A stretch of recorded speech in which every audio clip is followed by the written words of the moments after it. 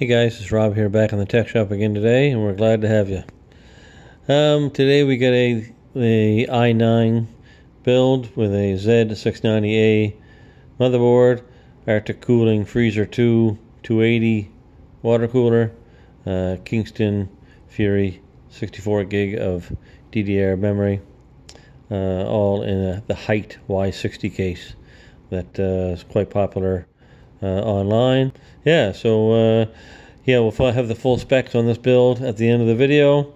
And uh, don't forget to like and subscribe. And we'll see you on the next build. Catch you later.